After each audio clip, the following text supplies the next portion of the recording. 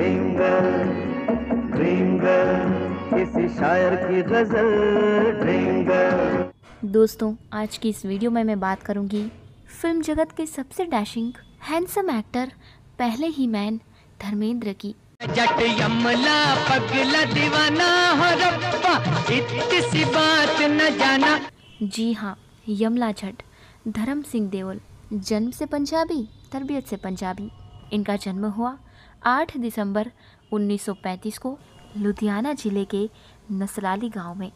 धर्मेंद्र के पिता लुधियाना ज़िले के लालटौन कला गाँव में हेड मास्टर थे। यहीं से स्कूली शिक्षा पूरी की धर्म सिंह देवोल ने।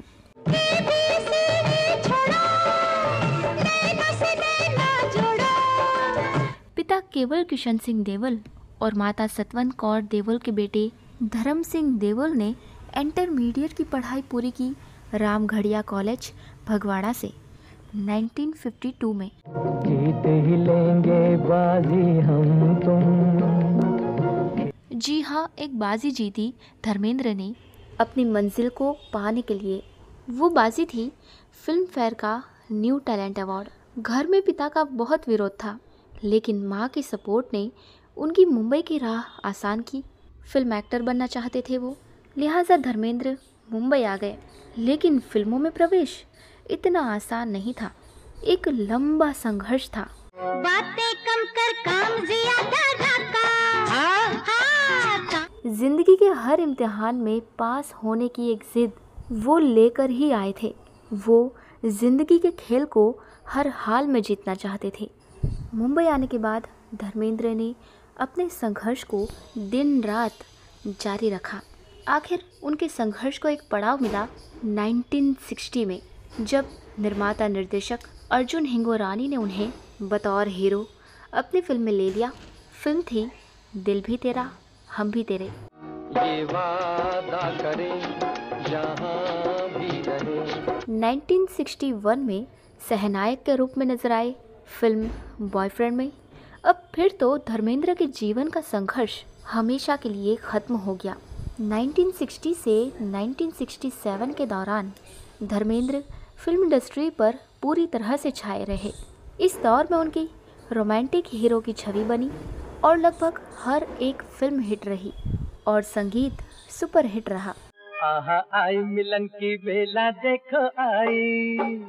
1960 से 1967 के दौर की उल्लेखनीय फ़िल्में इस तरह से हैं। नूतन के साथ सूरत और सीरत बंदनी दिल ने फिर याद किया और दुल्हन एक रात की।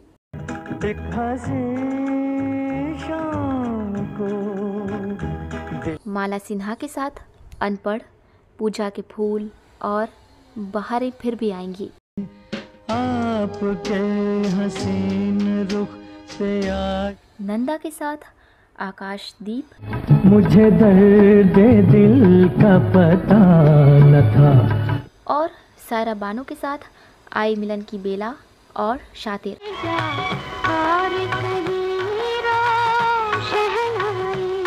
मीना कुमारी के साथ मैं भी लड़की हूँ, पूर्णिमा, फूल और पत्थर और काजल।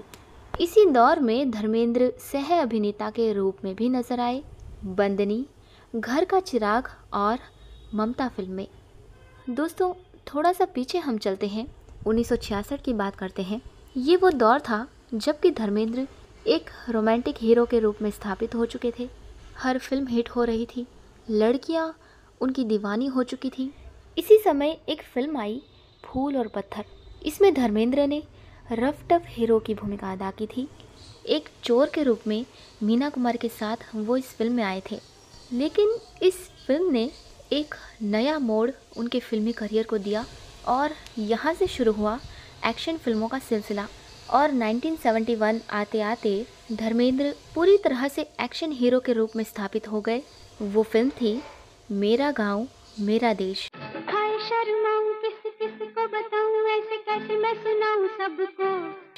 फ़िल्म फूल और पत्थर सुपर हिट रही थी और इसी फ़िल्म के लिए धर्मेंद्र पहली बार बेस्ट एक्टर कैटेगरी में फ़िल्म फेयर अवार्ड के लिए नॉमिनेट हुए थे। इसी तरह बिल्कुल इसके उलट अनुपमा में धर्मेंद्र की रोमांटिक इमेज को क्रिटिक्स ने बेहद सराहा था। दिल की सुनो बात है 1975 की जब धर्मेंद्र की फ़िल्म आई हेमा मालिनी के साथ तुम हँसी मैं जवां। इस फ़िल्म से शुरू हुई धर्मेंद्र की कॉमिक पारी। जी हाँ उन्होंने अपने रोमांटिक और एक्शन हीरो के अवतार में कॉमेडी का तड़का भी लगा दिया। और बन गए वर्सटाइल मुन्ने की अम्मा ये तो बता तेरे बेटे के फिर तो बस इस तरह की कई फ़िल्में आई। दो चोर दिल लगी चुपके चुपके नौकर बीवी का और चाचा भतीजा। बुरे काम का बुरा नतीजा क्यों भाई चाचा? दोस्तों धर्मेंद्र खुद भी मानते हैं और उनके फैंस का भी ये मानना है। कि ऋषिकेश मुखर्जी की फ़िल्म सत्यकाम में धर्मेंद्र ने अपने जीवन का श्रेष्ठ अभिनय किया और फ़िल्म शोले इनके जीवन की सबसे सफल फ़िल्म रही।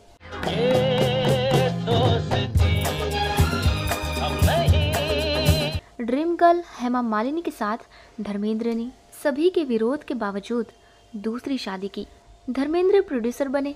अपने बेटे सनी देओल को लॉन्च किया फ़िल्म घायल में। बेटे, बॉबी देओल को लॉन्च किया फ़िल्म बरसात में। देवल परिवार के सदस्यों के बीच जो प्यार है दोस्तों, जो अपनापन है, वो तो एक मिसाल है। फिर उनकी फ़िल्म अपने हो, यमला पगला दीवाना हो या यमला पगला दीवाना फिर से।